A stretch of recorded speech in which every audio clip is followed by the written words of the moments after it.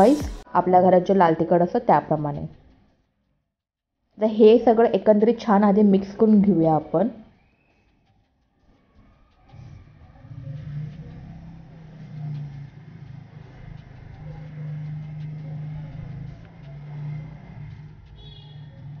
ही flower बटाट्याची भाजी आहे माझ्याकडे काल रात्रीची आणि एक चमच मी आलं लसणाची पेस्ट घेतली आधी हे मी थोडंसं मॅश करते हाताने जेणेकरून मी जेव्हा याची पोळी बनवीन तर ती इझिली बनवता येईल आपल्याला.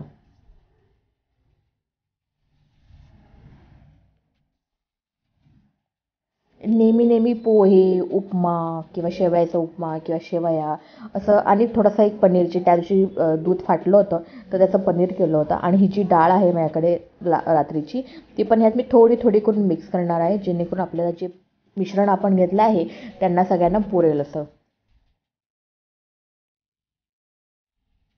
हां जसं मी तुम्हाला सांगत होते की नेहमी नेहमी तेच तेच ब्रेकफास्ट खातो आपण. समटाईम तर खूप कंटाळा येतो. आणि नवीन नवीन ट्राय करण्यात काही मजा वेगळीच असते.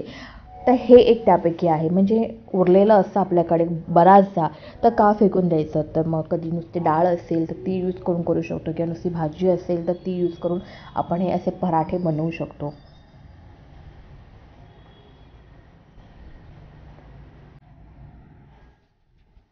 जसे नेहमीच आपण कणिक मळतो त्या प्रकारे छानसं मऊसूत आपण करून घेऊया.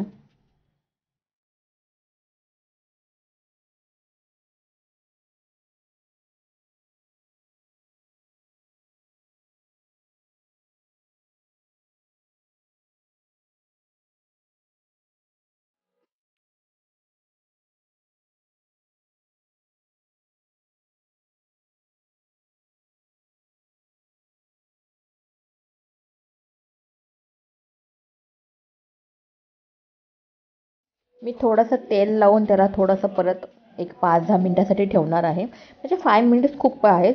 तर पाच मिनटासाठी आपण ते पिठाला जरा साईडला ठेवूया आणि मग आपल्या ज्या पोळ्या आहेत त्या आपण करायला घेऊया.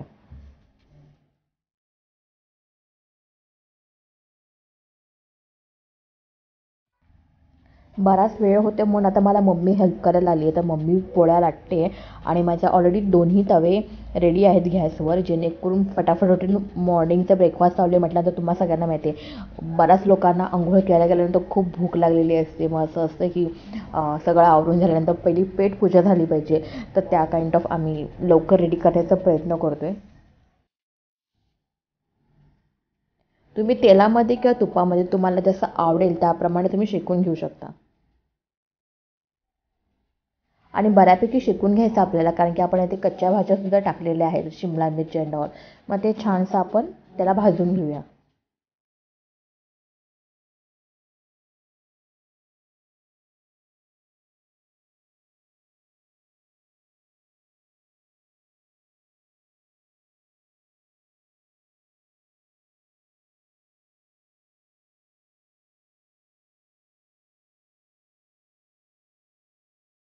हे पराठे इतके टेस्टी होतात ना म्हणजे असे क्रंचीसुद्धा लागतात. असे नुसते चपाती आपण जसं खातो सॉफ्ट त्या काइंड ऑफ असं तसंच नाही.